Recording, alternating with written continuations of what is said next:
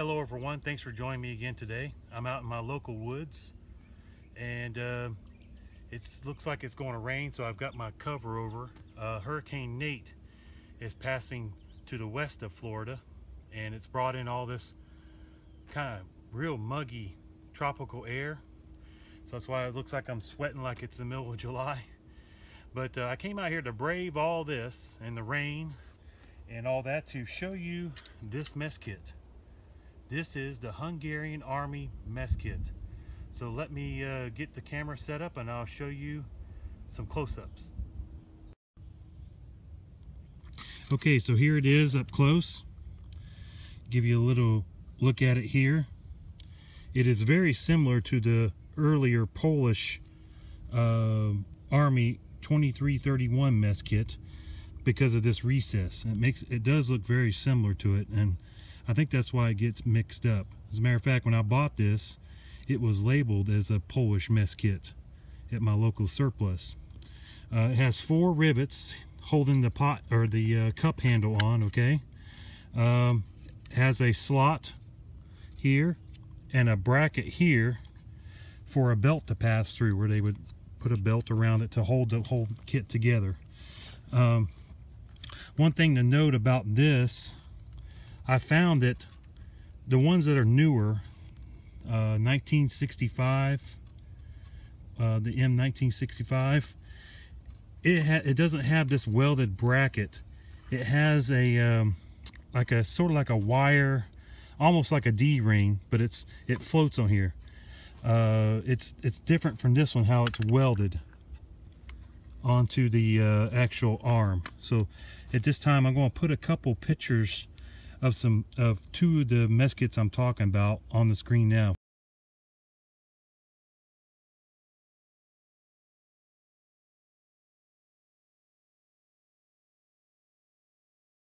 From my local surplus.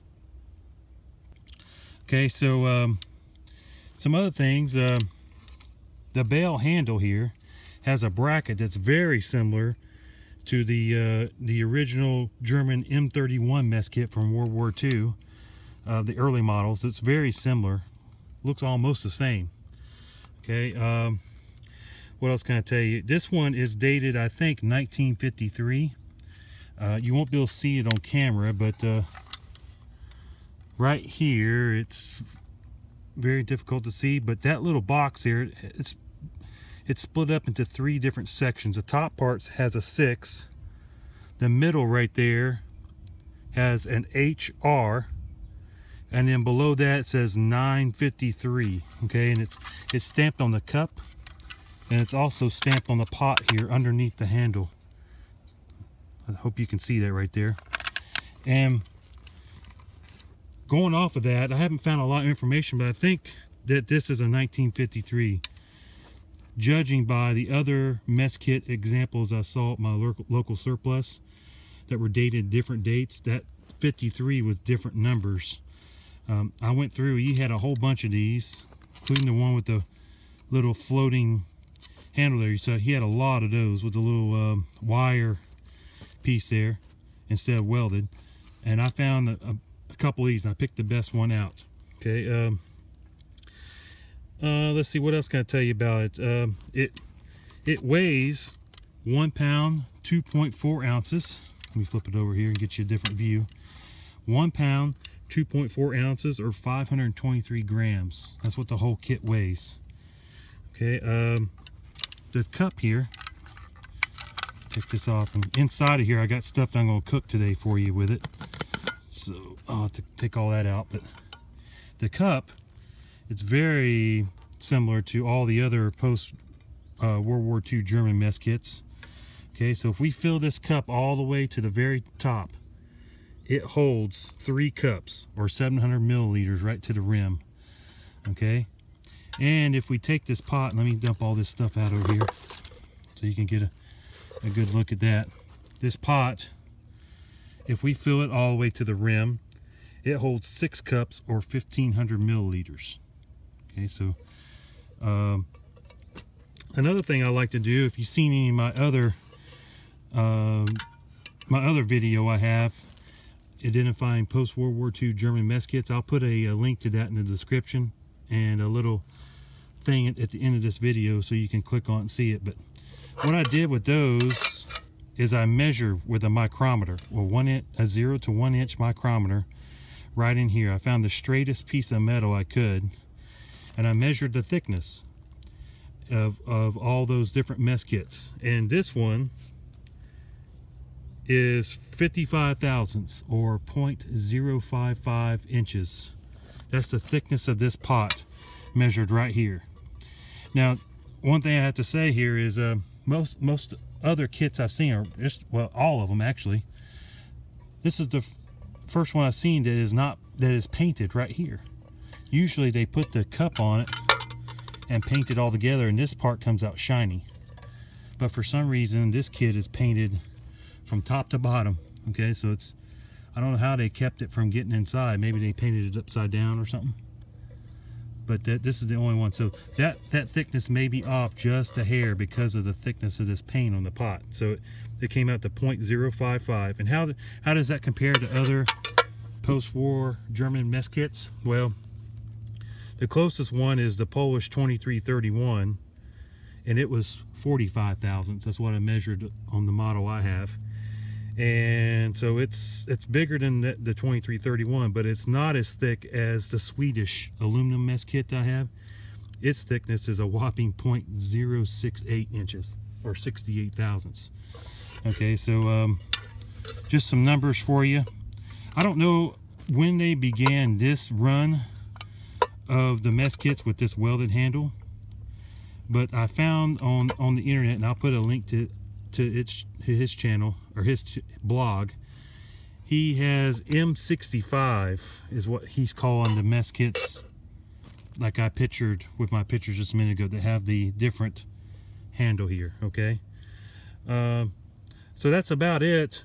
Uh, it's, it's a pretty much you know it's a really robust made kit one other thing I discovered you know how most of these kits you can fold the handle down one side it stays up to keep it out of the fire. You're supposed to be able to rotate it all the way around and fold it under. This one doesn't quite do that. So uh, that's not a deal stopper for me. I can pack it with the handle straight up like this. But uh, most of these kits I've I have, or all of them actually, except for this one, they the handle at least folds underneath, and then goes around the other way and stays up out of the fire like this. So this one's a little bit different. So let me set up um, what I'm to be cooking give you a little bit of a cooking demonstration with this with this mess kit okay so for today we're going to be using a Trangia stove alcohol stove because I don't want to ruin the finish on this pot as many of you know that watch my video or subscribers you know that I collect these I have many different mess kits and this one will probably get used once or twice and become a shelf queen. So I don't want to ruin this finish that it has on it with the paint from when I bought it. So what I like to do is have dual use or backups. And one of them is with this wood stove here. Okay, um, if my alcohol ran out, I could still use the wood stove as a backup. So you might be asking, well, how's that going to work? Because if I put this Trangia in there, the gapping is going to be a lot between the actual stove and our pot there. Well, what I have is this can. I think some kind of nuts came in it or pecans or something. And it is spaced just right that when I put it inside this Lixada wood stove, okay, and then put the Trangia on top of it, it gives us about an inch between the top of this wood stove and the top of the alcohol stove.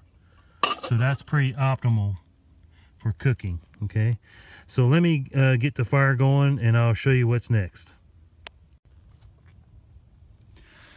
Okay, so here I have some uh, some turkey spam that I'm going to cut up.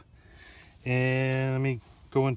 I, I brought my uh, my USGI mess kit. This is the case for it. I'm going to use this to um, to cut on.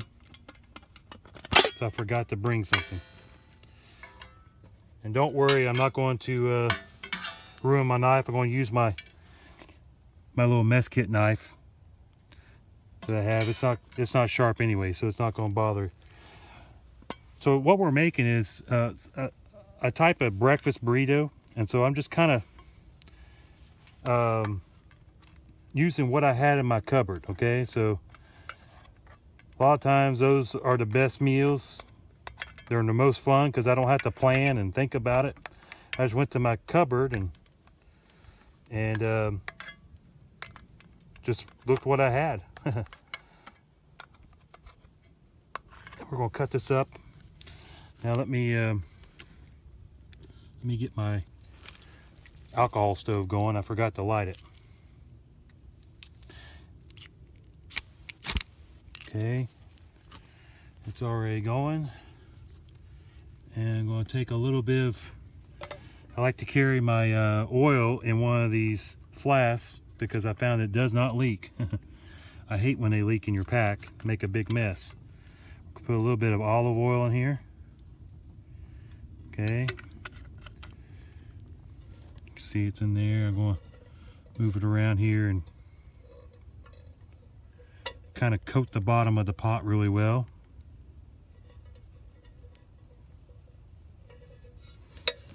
Okay. Now let's put this up on here.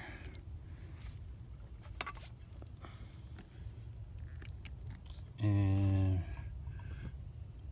some of this turkey spam down in here.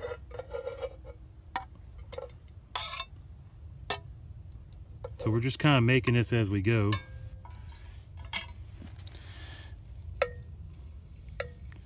Kind of break this up some. Here we go, you guys can see now. This alcohol stove is going to get hot pretty fast. I'm going to go ahead and cut this other one up too. This other uh, slice of spam. Might as well just cook it all, right? All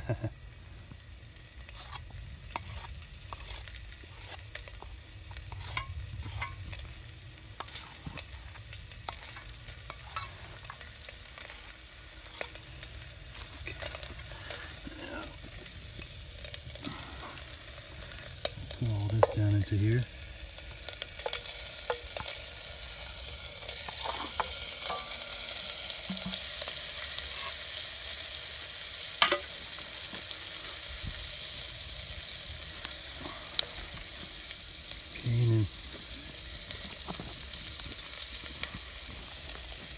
I got a nice little GSI plastic spatula, which makes makes good for this right here. Perfect little size for putting in your pack for hiking. I know this is for what I'm doing. I haven't really told you what I'm doing yet, but for what I'm doing, I think this is too much meat, but we'll go with it anyways, okay?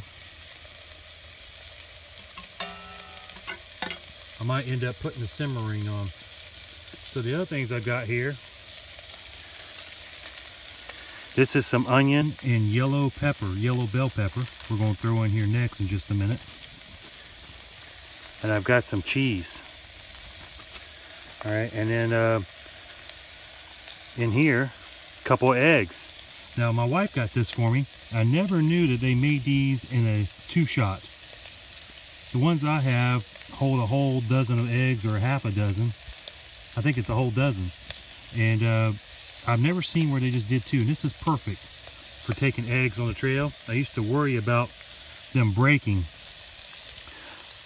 when I was hiking out here for the day. So that's a nice gift from my wife. Let's give this another little stir.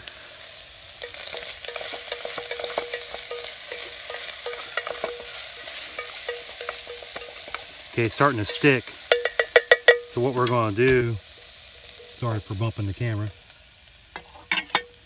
We're going to put this simmer ring on. Okay, I'm to set it about like this maybe. See if we can get it on there without burning ourselves. Okay, there we go. Okay, it's still lit. Awesome. Okay, that's going to cut down the fire so I don't need that quite that much heat. I don't want it sticking, not the whole the whole thing sticking inside there. Okay, so let that get caught up. I think I'm gonna go ahead and add my onions and peppers. That may have cut down the simmer too much. In which case I'm gonna have to open it back up again.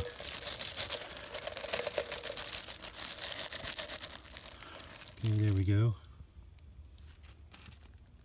I don't hear it sizzling anymore. Take that back off.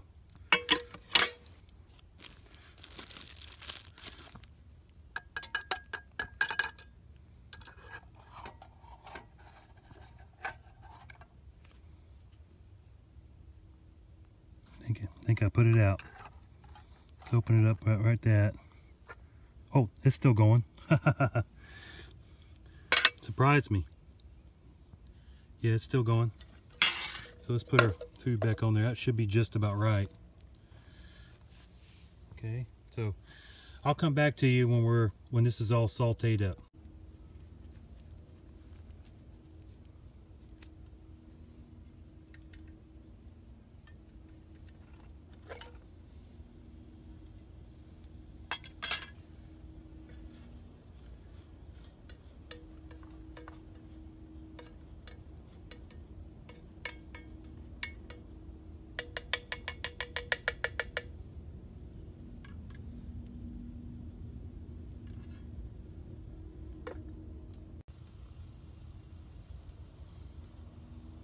Okay, so let's take a look at this. It looks pretty good to go to the next step.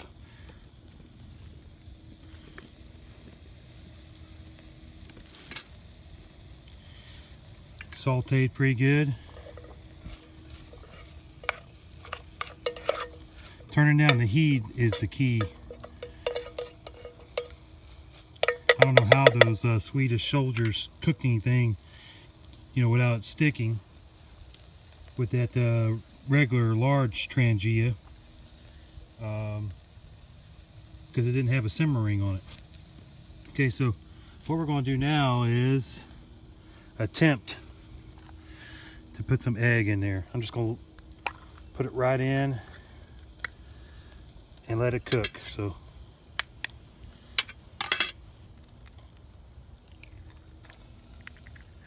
okay.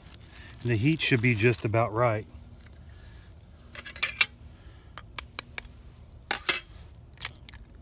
There we go.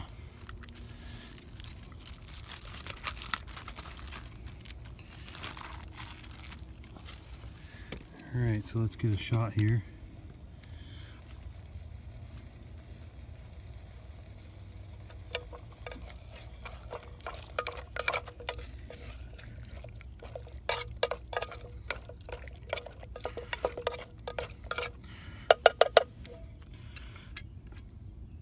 Okay, so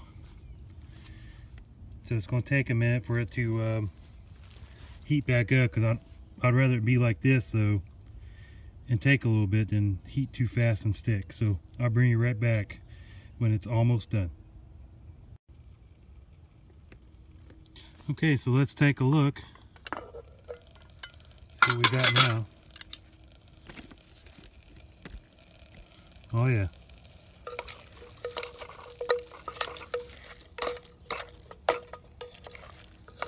Looks pretty good. So what I'm going to do now is go ahead and take this off because it's going to continue to cook a little bit. There's a couple more things I want to do before we eat this. Okay, so what I want to do now is make a little coffee. It's gotten to evening now, and so it's not quite as hot. And I could go for some coffee. So, whoa, did you see that? So uh, let's get some water out over here out of my bag. This is the Czechoslovakian M60 canteen right here that I'm carrying. Man, that thing's blazing now. Get it out of the strap here. And pour some water.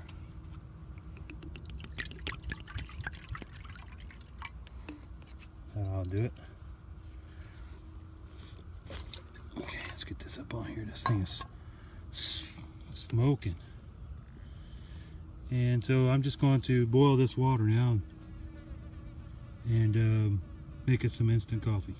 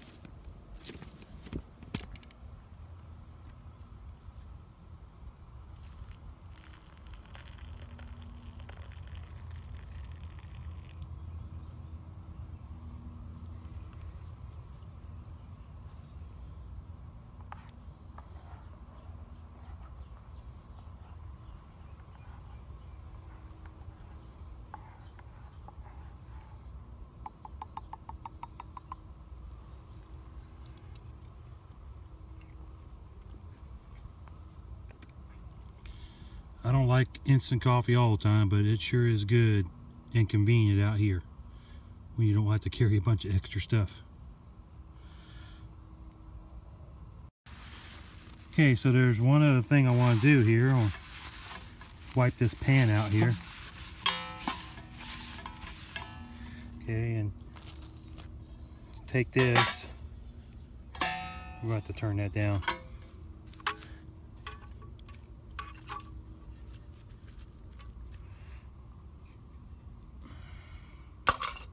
Oops. Got hung on my got hung on my uh there we go. There that slows it down enough right there. What I want to do is is warm my flour tortillas up and brown them a little bit. So this works really good for that. Just set them in there like that. And we're gonna put them on this plate.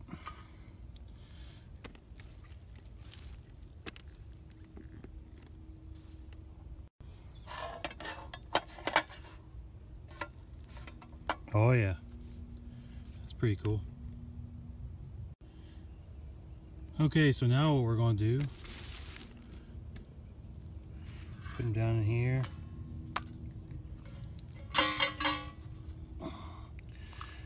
A little bit crispy. That that'll be good. Okay, because the fire, the little alcohol stove fire was a little hot. So let me get this thing off of here. See about if I can close this vent here.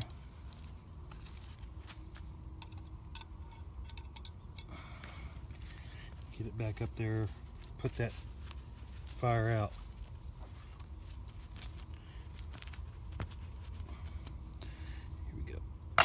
Oops. That's, there go. Take your take my O-ring out. I didn't quite put it out. You can still see a flame coming out of that little vent hole. Okay, that should do it. So now, what we're going to do is is take my spoon here move this around here so you can see better. And our egg, spam, onion, and pepper mixture. Put it into our little taco shells. So they're not really burritos, I guess, because we're using taco shells, but you get the idea. Okay, It's still warm from um, because I kept it covered. And we're going to take some of this shredded cheese, which is a Monterey Jack blend type cheese. I'll put that on top.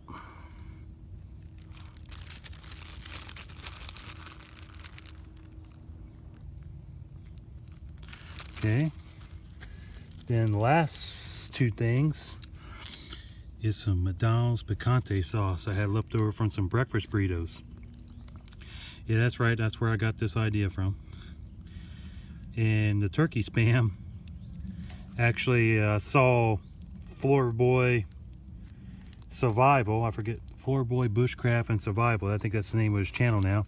He was cooking with some turkey spam, and uh, it made me remember about it. I bought some last time we went to the store. So there we go. Some picante sauce, and then here is some hot sauce. I think I got this from Chick-fil-A. I think. Some leftover. Put a little bit of hot sauce in there. And there you have it. Breakfast burritos with turkey spam, onion, yellow green pepper, cheese, egg, hot sauce, and picante sauce. Nice. So there you have it. Here's your review on the Hungarian Army mess kit. The pot and the cup. It's a really nice piece of kit. Uh, like I said, it's, it's actually thicker than um, most mess kits out there, post World War II mess kits like this style. Um, I noticed that there's a lot of them on sale now. Uh, like different websites, they're carrying these. I guess they, they re released a bunch of them at one time. So um, I hope that helps you make your decision uh, as to which mess kit you would like to buy and maybe help you identify which one you have. So it looks like it's not going to rain now, so I'm, I'm, glad for that, but uh, I'm glad you came along with me. And uh, I hope you enjoyed this review. If, if you liked what you've seen, please click subscribe on my channel and follow me. I do all kinds of reviews on mess kits like this and, and different equipment. Uh, also do a little bit of kayak fishing every once in a while and, and camping, regular car camping and things like that. And uh, if you like this video, also click like. I really appreciate seeing those uh, those likes. It helps uh, helps me to know that I'm, what I'm doing, everybody likes, and, and to keep doing it. And um, also, if you have any questions, I'll do my best to answer them about this mess kit. Right at this time when I videoed this, I don't have a lot of information about this. The stuff I found is in different language and I haven't had time to translate it. But every comment that you guys put, I try to answer them. Every once in a while one slips past me. Uh, uh, YouTube may not notify me or I miss it somehow, but I really try my best. So leave me a comment at the bottom and I will answer that and try to try to uh, answer your question the best of my ability. So thanks for watching and I hope you have a great day.